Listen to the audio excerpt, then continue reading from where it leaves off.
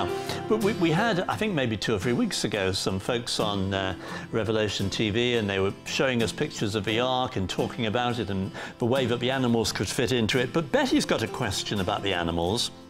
She says, Good evening to you. I believe in the account of a flood, but what puzzles me is how animals from thousands of miles got there polar bears, and all the vast number of creatures that we see on our nature programs. Any thoughts? Well, I would highly recommend not watching nature programs produced by certain uh, productions houses. Uh, I won't go into detail there. However, uh, it's not a problem at all. First of all, the animals came off of the ark one pair of the unclean, three and a half pairs of the clean, four males and three females. The fourth male was used in the burnt offering after the flood in sacrifice and thanksgiving for surviving uh, of the flood, leaving three pairs of breeding clean animals. Now, let us take polar bears, for example. One pair of bears came off the ark. Now, God knows the animals that contain the most perfect genetic information remaining because all genetic information started deteriorating at the time of human sin.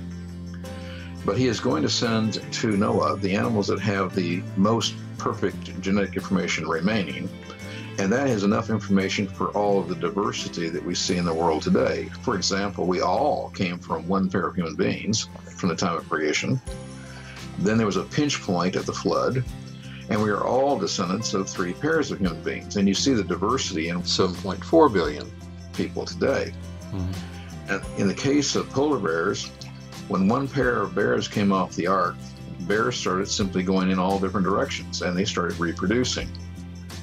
And the the fact of the matter is that the bears didn't evolve, they didn't change, they didn't gain information. What happened was that the environment actually erases the ones that are not fit to live in certain environments.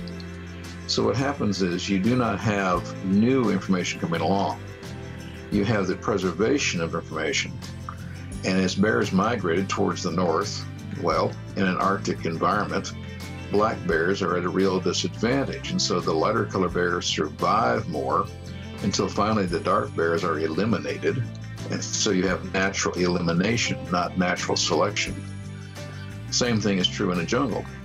White bears stand out in the jungle and so they would not reproduce well and would eventually be eliminated, leaving only, say, darker bears.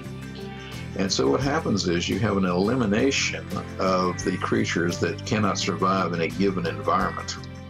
And only those that have the tools to survive will remain.